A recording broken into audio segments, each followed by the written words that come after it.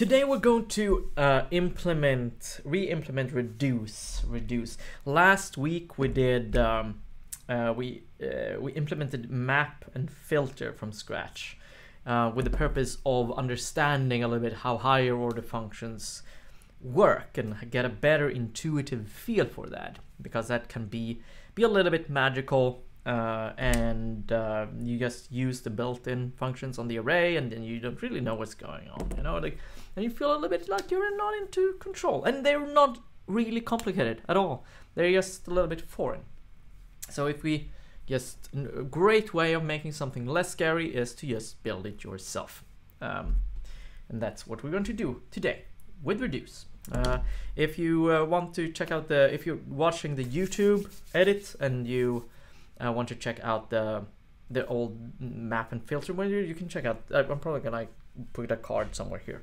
There, there. Never remember which direction. Uh, Albaka asks, how can we view the previous map filter? You can find it on YouTube.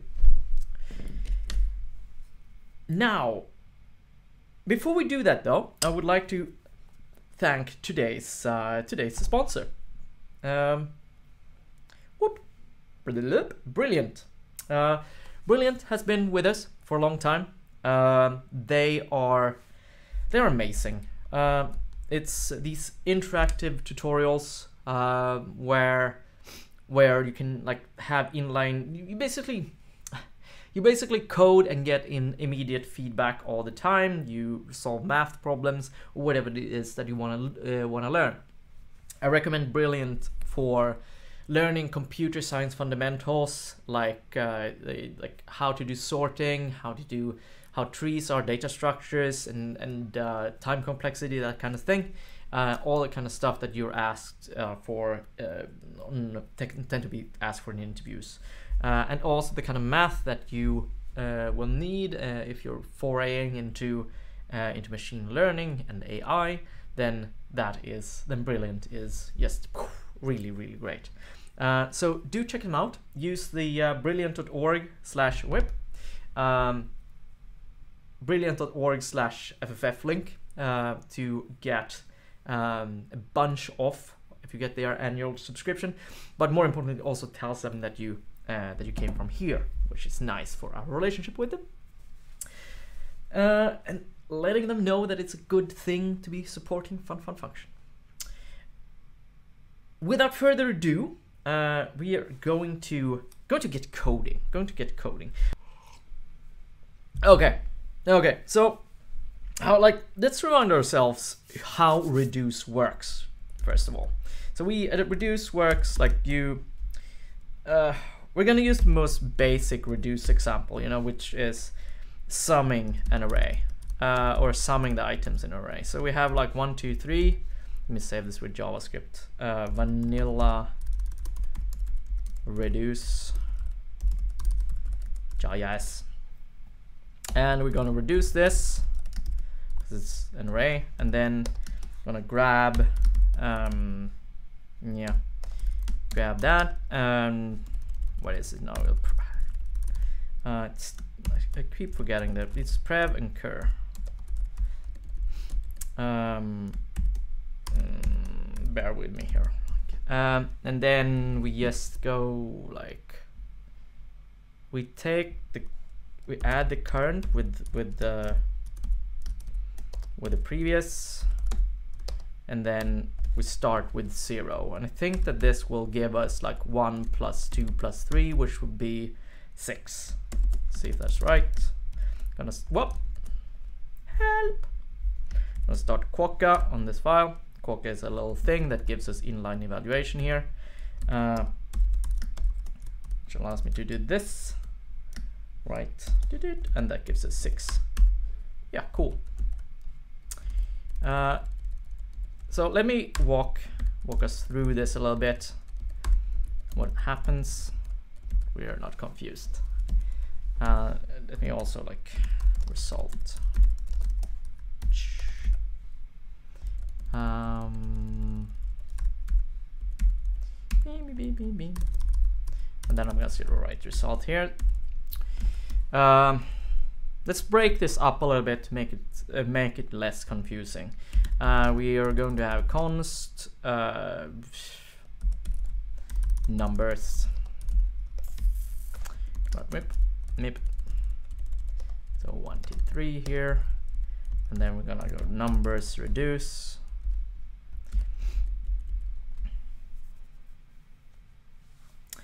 Underscore funks points out that accumulator is a better uh, name than prev. Let's let's actually call it that. Uh, ac. That's a little bit better. Um, and let's write out accumulator.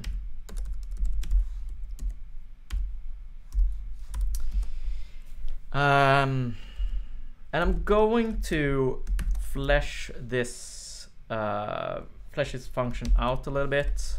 Um, so that we get more see it a little bit. Uh, and uh, I'm gonna call this current.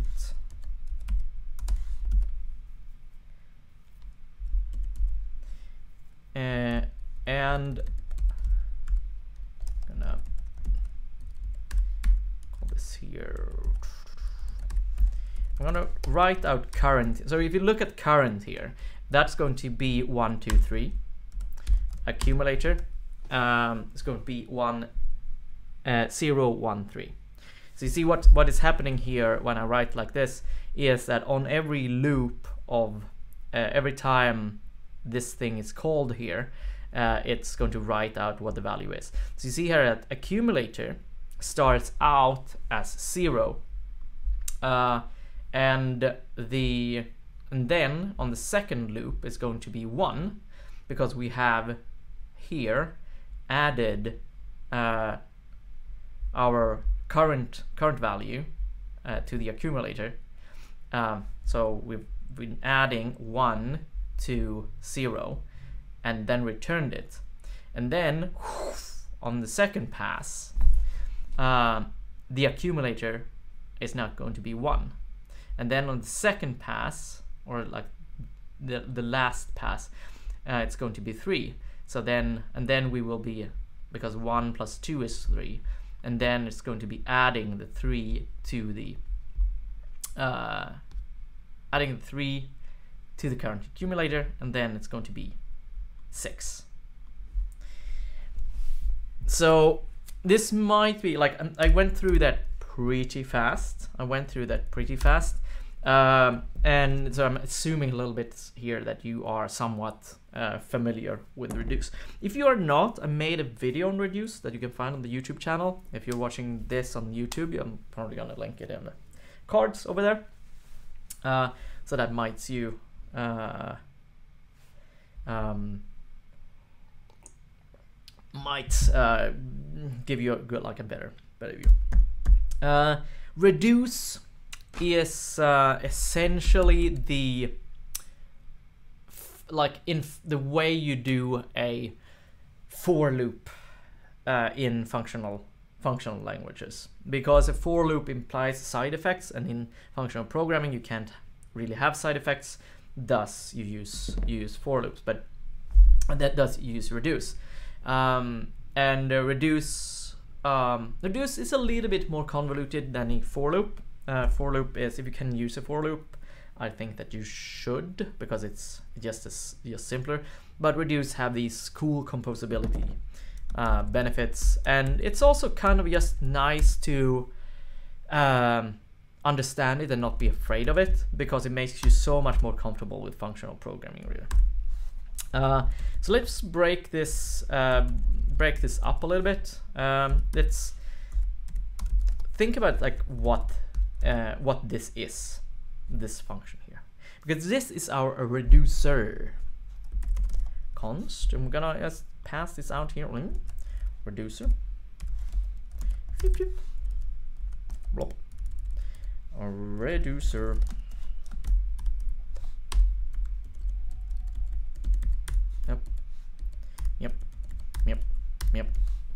Uh, and uh, no, I'm gonna keep these here. I'm not gonna simplify the reducer anymore. Um, and uh, leave it there. So reduce here uh, is a method on on array or like on um, yeah on the array prototype to be specific in JavaScript. Um, and uh, I think a lot of people have not really thought about like how reduce actually works or um, it it's just one of those things that are like yeah, it's a little bit magical it's a little bit scary and um, um and as Chris says, like Jake Archibald uh, went on Twitter to deaths on reduce, saying that other than summing values, it's not readable as using a for. And uh, yes, that is correct. That is correct. But it's there. It's in the language. You often see reducers being used, like hell redux. Uh, that is one of the most popular state containers. Is essentially just an implementation of reduce, um, or like it is a reducer. Um, so you see here, like in uh, the accumulator and current, like this is this is the same pattern as a um, as redux. It's just like in this um, this would just be state and this would be the action sort of you know. I think. It's a long time since I did reduce or did redux. Redux? Redux? Redux?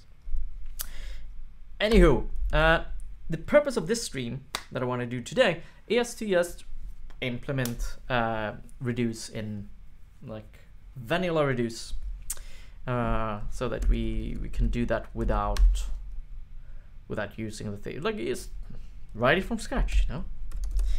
Uh, so function look here on reduce.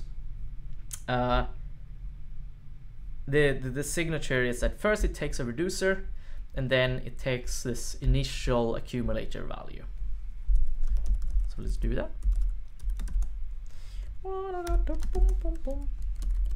Uh, reducer and accumulator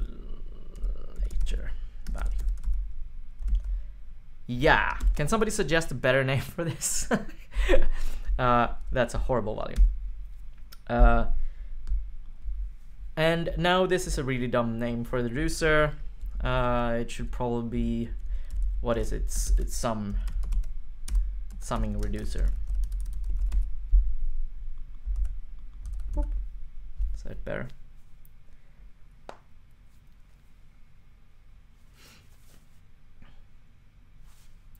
Yeah, initial value, yes, initial,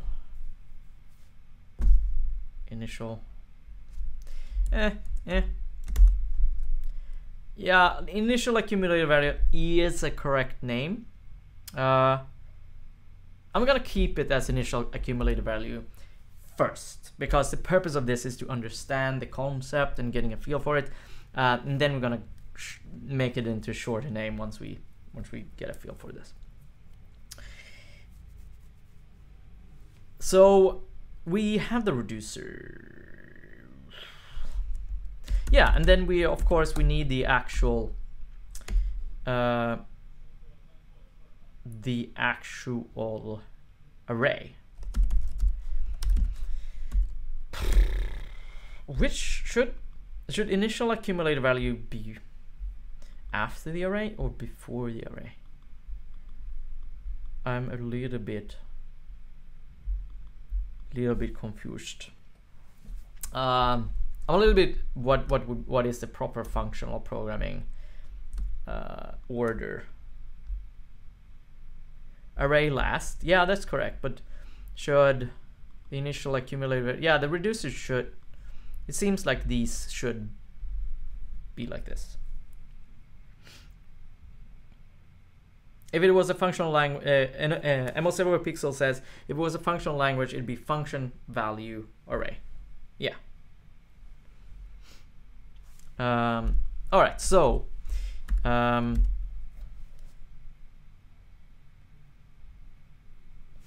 uh, I'm just gonna write do like the last video, start with a for loop. Not sure if that's right, but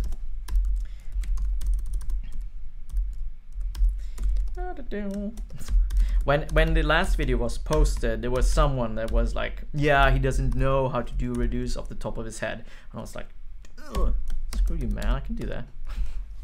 I have not prepared for this at all, just because of that dude's comment. Uh, so let's see. Uh, while i is less than array.length length uh, and uh, then i plus plus Boop. Um, and then we're gonna have like const uh, current uh, array.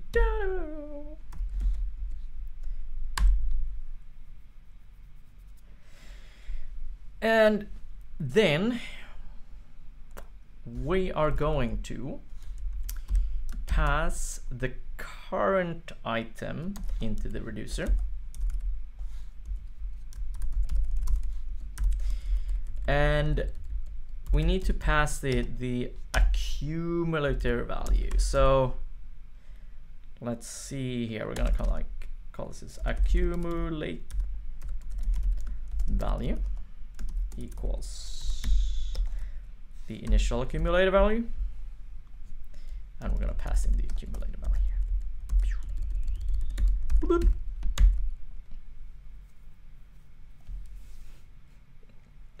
Robert Table says, MPJ, you got this. Ah.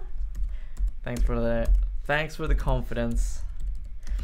Uh, and then this is gonna be like the, whatever this returns is going to be assigned as the new accumulator value. And once we're done, we're going to return the accumulator value. See if I did that correctly. so if so, now I should be able to just comment this out and uh, use our new reduce function. Uh, yeah, let's see, the reducer value, and then I should just pass in the numbers here. Numbers. Did that work? that did work. Uh, hang on, I have to test it because it seems implausible. Yeah, I got it right on the first time. Mm! Just Make a dance. boom, boom, boom, boom. Dance, reduce dance. Got right. Suck it, person that said I couldn't do reduce off the top of my head. Ah. All right, so let's let's walk through this. Let's walk through this. What happened? So for every current, uh, we are going to pass the current item into the reducer. So, and the reducer, remember, is now the summing reducer here because we, we pass that into reducer here.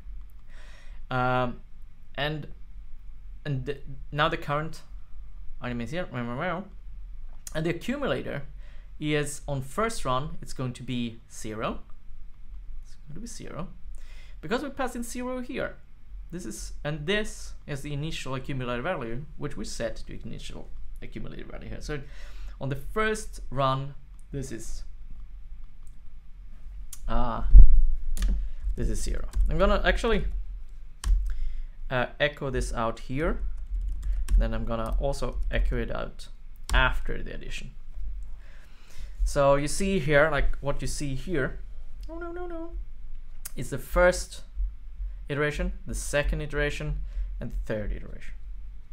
So the first iteration, uh, accumulator is zero first, then we run it through the reducer, and the reducer just reduces it to, to zero, or to one, sorry. Uh, and then we run the second loop, we have the accumulator value here, uh, which is now one because you know now we are on this outer loop here. Uh, and then that accumulated value is passed into the reducer. Uh, having it in here. and then they are actually added in and returned. And that gives us the accumulated value of 3. and so on, and so on. So reduce is a little bit. It's a weird name, isn't it? Reduce. Uh, it's. Um, it, it's. I think it's. It comes. It, the, I, the closest metaphor I've heard is like making a sauce. You uh, you kind of like add ingredients to it and then you reduce it to to something. But it's I don't know, like you reduce a number of ingredients into one thing. You add ingredients into a into a pot, then it boils, and now it's uh, now it's one. Um, now it's one thing. You're reducing a series of items into one thing. And uh, Audhain says, um, I prefer the name fold because you're folding the connection. Uh, and uh, yeah, I think so. I, I like, I agree. I agree. Fold is a better name for this. Um, actually, let's do it fold fold and I guess that um, we would call uh, this folder something folder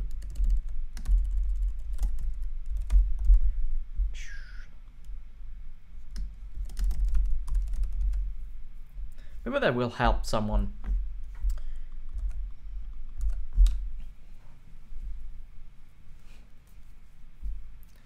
um, yeah, you're folding something into a, a single thing. It's um, I like.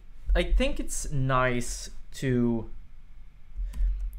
uh, to re-implement things like this uh, because it what gives you like this nice uh, nice sense of control uh, and watching me do it is not quite going to do it for you. I recommend that you do this yourself.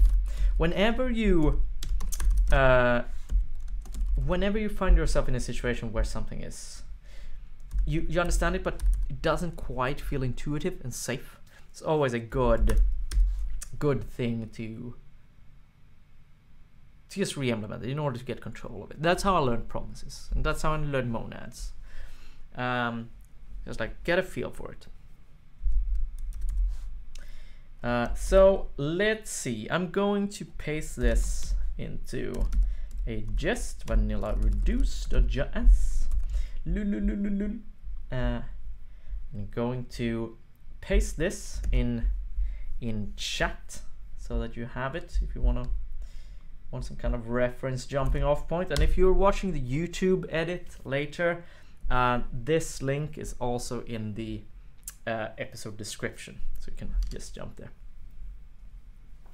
And yeah, and that's it. That's it. That's how we, that's how reduce works or fold as it's called in some functional languages. It's just, it's sort of like a the method for when you, it, it's sort of like the functional programming equivalent of the process where you take something with a for loop that you would use a for loop for in imperative languages to reduce something big into into a single value. Such like the the most common example is summing things, but yeah, Audhain. So how can we use reduce to implement map fun fun function?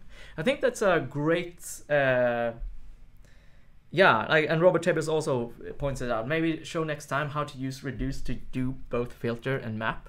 Yeah, we're definitely going to do that. Next time, I'm going to do filter and map. This episode is sponsored by Brilliant. Uh, they provide these awesome interactive uh, programming and uh, math courses where you have interactive tutorials, sort of like a game, really good for learning computer science math or uh, uh, any computer science fundamentals. Uh, if you use the link here below, brilliant.org slash FFF, you get a lot of uh, lot off on their annual uh, subscription. And it also tells you tells them that you came from here. Thank you so much for sponsoring the show, Brilliant.